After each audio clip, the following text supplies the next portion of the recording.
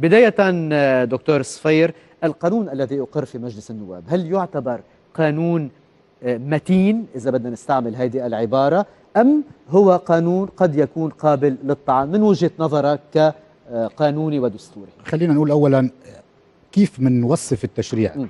التشريع يوصف من خلال القاعدة اللي بيحكي فيها. م.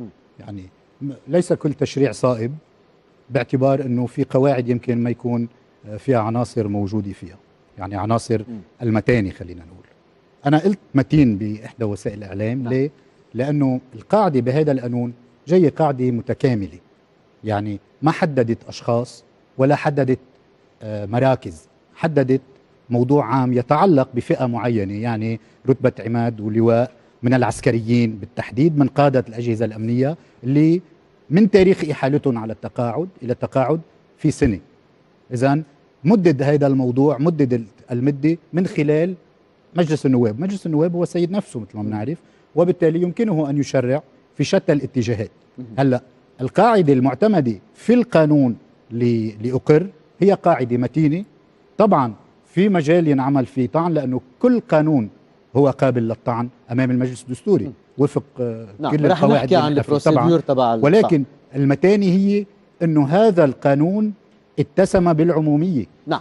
دكتور يمين وحط موضوع كمان الظروف الاستثنائية بالأسباب, بالأسباب الموجودة. بواقع البلد دكتور يمين البعض يعتبر أنه آه، هذا القانون تشوبه أخطاء وقد يكون معرض للطعن. هل برأيك في أخطاء تشوب هذا القانون؟ يعني اعتبروا الدكتور صفير أنه آه، متين إذا بدنا نستعمل هذا التعبير. بكل تقدير واحترام للزميل العزيز الصديق الدكتور صفير آه، أخالف الرأي بالحقيقة لأنه أعتقد أن بنية القانون غير دستورية عدا عن إقراره في ظل شهور في سدة الرئاسة من غير أن يكون واقعا تحت عنوان تشريع الضرورة. ما راح ادخل حكينا كثير يعني بعدة مقابلات بعدة وسائل إعلام حول تشريع الضرورة. إذا عاد ساعة الوقت أنا حاضر. بس خليني أدخل على بنية القانون من مطرح ما انطلق الدكتور صفير التشريع صحيح إنه مجلس النواب هو صاحب سلطة التشريع عملا بأحكام الدستور ولكن ليس آه، مجلس النواب سيد نفسه بالمطلق. هو محكوم بالمبادئ الدستورية وبنصوص الدستور وبالكتلة الدستورية. المبادئ الدستورية تتضمن مجموعة من القواعد المسلم بها والتي لا يجوز للمشرع أن يتخطيها. طب لي شو الأخطاء من شان هيك صار في شيء اسمه شو رقابة على دستورية أي. القوانين.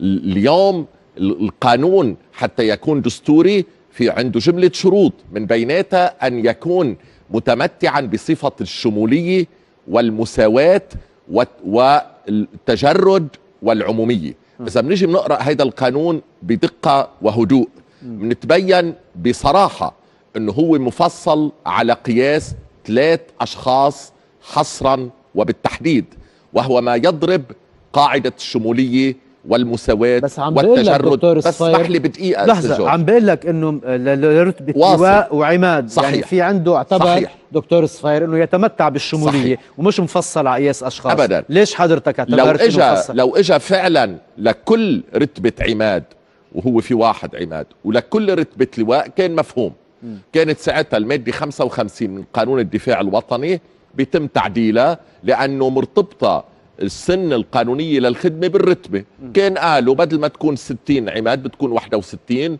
وبالنسبة للواء تضاف سنة وانتهت. لا اللي صار ما صار هيك. قال القانون بالنسبة لقادة الأجهزة الأمنية اللي عندهم رتبة لواء واللي عندهم رتبة عماد هون وقع بال خلل بالمساواة ووقع بالشخصانية للأسباب التالية. يعني فقط قادة الأجهزة. حصر بهذا الموضوع وين الخلل؟ يا ريت قال كل قادة الأجهزة. كان ممكن هون ينحكى بأنه اعتمد معيار واحد أنه هو قادة الأجهزة. ما اعتمد فعليا قادة الأجهزة. بلش أنه قادة الأجهزة والأسباب الموجبة أنه قادة الأجهزة ولحفظ الأمن. ولكن وقت لما تدقق بيتبين حصر قادة الأجهزة العسكريين. طيب أنا عندي سؤال. إذا ما فيك تبدل بهالفترة القادة الأمنيين وتحت عنوان الظرف الاستثنائي والضرورة بدك تخلي القادة الأمنيين الموجودين. طيب أول سؤال ليش مدير عام أمن الدولة آه، لأنه آه، مدني ما بدت له ليش حصرتها بالعسكريين وهو آه، رئيس جهاز أمن الدولة؟ اثنين ورتبته إيه. آه، آه، آه، آه، آه، نايبه اللي هو بامن الدولي بحسب نظامه بيوقعوا بالاتحاد بدها توقيعين. هن بي- بيشكلوا مجلس أمن الدولي العميد شقير هو عسكري من رتبة عميد ليه ما شملته. آه، بالتمديد ما قالوا لك عماد ولواء إيه، ليه ليه حصرتها بلواء وعم...